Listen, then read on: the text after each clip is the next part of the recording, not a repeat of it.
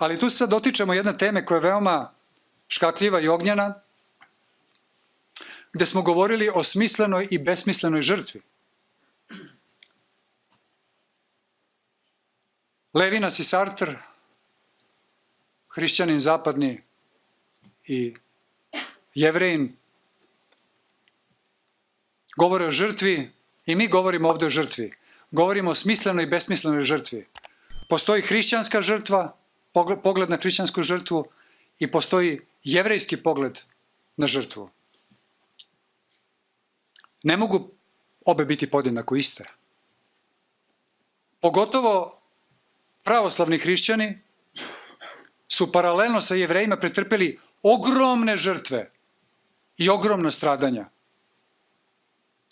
u daljoj i bližoj istoriji. Zaista, ko je više postradao od jevreja, ko je više postradao od Srba i Rusa? Tu nas negde nešto povezuje. Ali,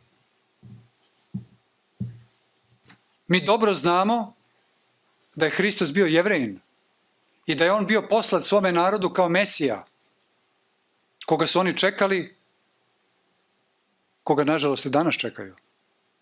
A on je došao. Znači,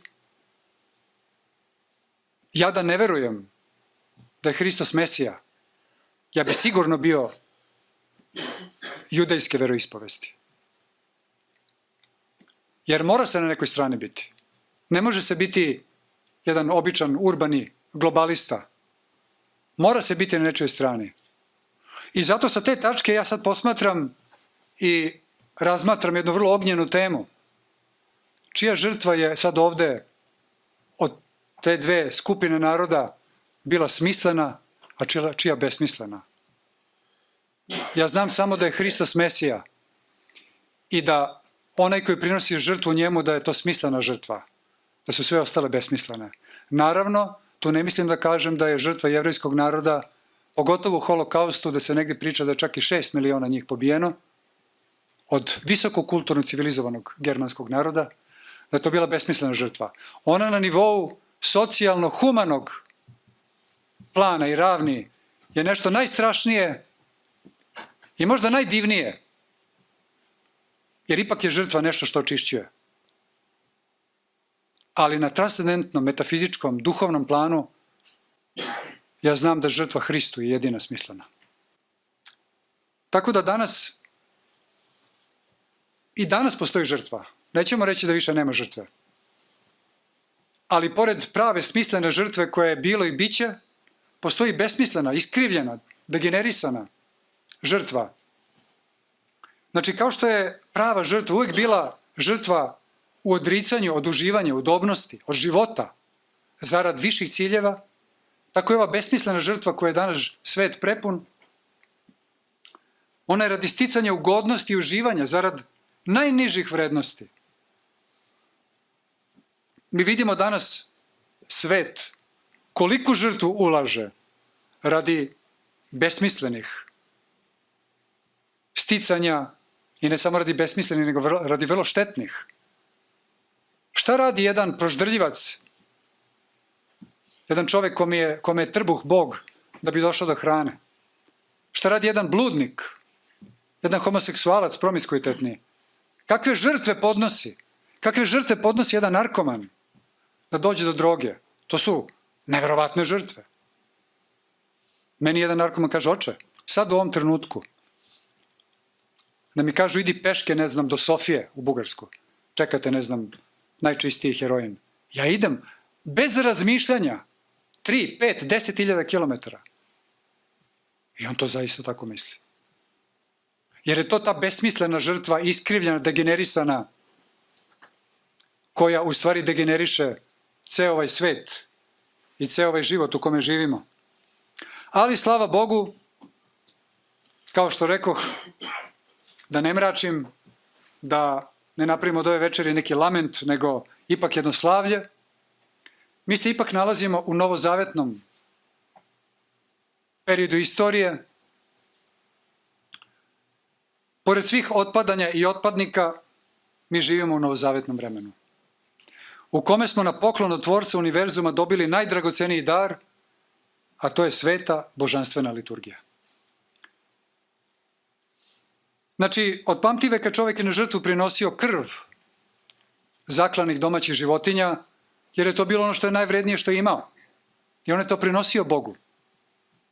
Prolivala se krv na oltarima, spaljivala se iznutrica i ono što se nije jelo, a meso i ono što je vredno bilo, bilo je predavano hramu, od čega su se hranili leviti, sveštenici, a zatim je to delo deljeno, naravno, sirotinje. Isto tako je bila prinošena isto i plod letine, bašte, njive, voća. No bilo je i najmračnijih vremena u istoriji kada se na žrtvu bogovima, odnosno mnogo bolje rečeno demonima, prinosila ljudska krv. Znači, i u biblijsko vreme imamo neverovatne priče da su na, na oltar tadašnjim lažnim bogovima, demonima, Molohu i ostalima prinose, prinošeni mladići i devojke. Jer je čovjek toliko bio ustrašen stihijama prirode i toliko osjećao, naravno, nikad čovjek nije mogao da se otme, kogod da je možda bio i mnogobožac ili neznabožac, da se otme da nema vlast nad prirodom. I znao je da neku žrtvu mora da nekom prinese na neki oltar. A satana, kosmokrator, vladalac ovoga sveta, nije bio zadovoljan prinosom koji su oni prenosili, nego je hteo ono najviše u krvi, a to su bili sinovi i kćeri koji su oni prenosili. Zanimljivo je da tamo da sam čitao negde, kada su jezuiti, rimokatolici, uh, pokoravali i zauzimali Južnu Ameriku, pa su u to vreme naišli na Inke, Maja, Azteke i druga plemena. Mi znamo naravno da su ih oni praktično uništili. Uopšte, zapadni čovek, gde god je dolazio, sve uništavao. Naravno, tvrdeći da donosi civilizaciju. Ali ima tu nešto zanimljivo, ipak taj Loyola i svi ti koji su bili u to vreme, ipak su oni bili hrišćani i negde su bili zgroženi, naravno to nije nikakvo opravdanje za taj holokaust što je tamo izvršen u to vreme, ali su bili zgroženi videći da su ti divljaci tamo, iako je mi danas volimo da hvalimo, da kažemo pa to je bila ne znam kakva kultura. U stvari, ti tadašnji preci današnjih tih južnoameričkih indiosa u Andima su prinosili i tekako žive ljude na žrtvu. I postoje način u stvari kako da kako da izvuče živo srce čoveku, odnosno živom čoveku kako da izvuče srce, da ga prenese na oltar, a da taj čovek još uvek u tom trenutku je živ. Naravno, on odmah sledećeg trenutka biva mrtav, ali ne ubija ga, nego mu vadi srce, to su neki zahvati bili. Tako da su ti hramovi sve bili prepuni skeleta žrtvovanih ljudi ljudska žrtva.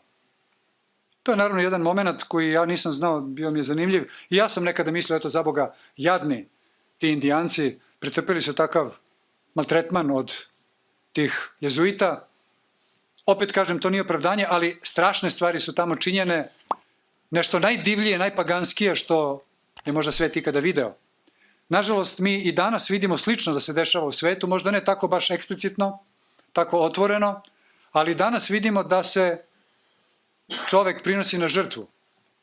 Šta je ova današnja civilizacija nego prinošenje ljudskih bića na žrtvu u obliku jednog teškog, ultramodernog robovlasničkog društva kome živimo, jednog apsolutno nehumano, posthumanog društva, gde nama u ovim krajevima kažu ma mi ne ulazimo u NATO radi nekakvih vojnih operacija. Ne. To je u stvari jedan ekonomski prosperitet. A vrlo dobro zna, taj isti koji to kaže da će naša deca odavde, naša omladina, naši momci, odlaziti u neke Azerbejdžane i u neke ko zna koje krajeve da ginu, za koga? Za Vašington, za Pentagon. Znači, žrtvujemo omladinu, žrtvujemo narod, žrtvujemo žene, decu, zarad nas, nekoliko familija bankarskih koje vladaju ovim, svetom. To je ništa drugo nego doprinošenje živih ljudi na žrtvu Bogu Luciferu. Bogu kosmokratoru, koji vlada ovim svetom. Dok mi prinosimo žrtvu i prinosit ćemo je pantokratoru, onom koji je svedržitelj. A to je niko drugi nego, nego sam Hristos, Sin Boži.